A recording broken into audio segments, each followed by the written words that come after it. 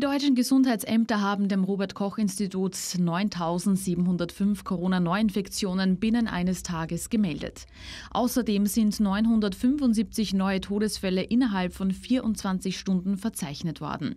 Wie aus Zahlen des Robert Koch Institut vom Mittwoch hervorgeht, vor genau einer Woche hat das Institut 13.198 Neuinfektionen und 982 neue Todesfälle binnen 24 Stunden verzeichnet. Der Höchststand von 1244 neuen gemeldeten Todesfällen war am 14. Jänner erreicht worden.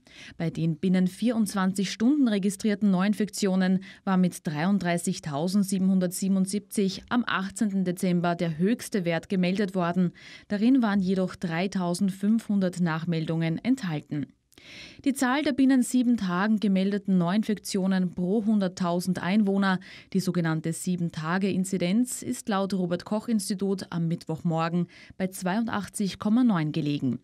Ihr bisheriger Höchststand war am 22. Dezember mit 197,6 erreicht worden.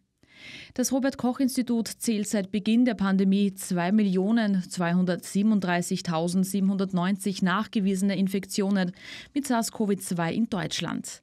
Die tatsächliche Gesamtzahl dürfte noch deutlich höher liegen, da viele Infektionen nicht erkannt werden. Die Gesamtzahl der Menschen, die an oder unter Beteiligung einer nachgewiesenen Infektion mit SARS-CoV-2 gestorben sind, ist auf 58.956 gestiegen.